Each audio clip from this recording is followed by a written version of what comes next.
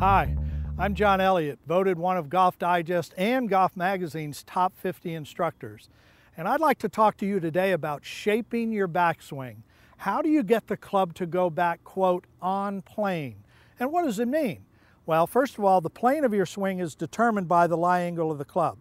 And secondly, to get the club to go back on plane or correctly, we need to focus on the top end of the club, the handle, the grip. And I've put a red tee in there so that as I make some illustrations, you can see the difference in these takeaways. Let me show you the most common takeaway in golf.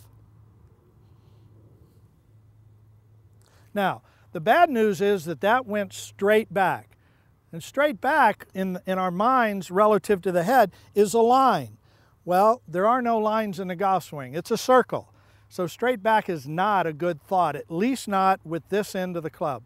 Second illustration and I just wrap the club around my right hip, taking the entire club, both the handle and the head, too much to the inside.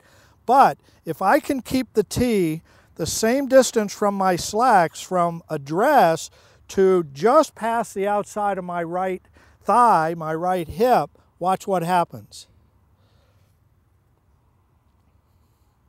It's not going in, it's not going out because it's traveling in a circle. Now, the reason I've laid this pole on the ground is so that you have a reference for what straight is. So how's this?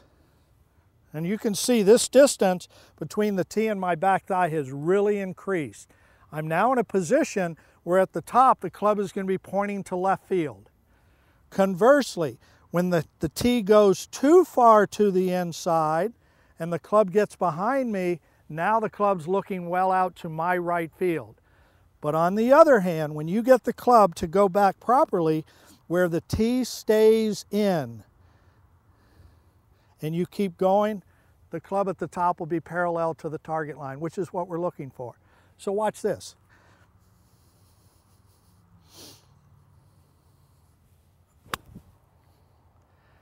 That was the tee or the handle working inward on the backswing, creating the shape that I'm looking for. And what shape is that?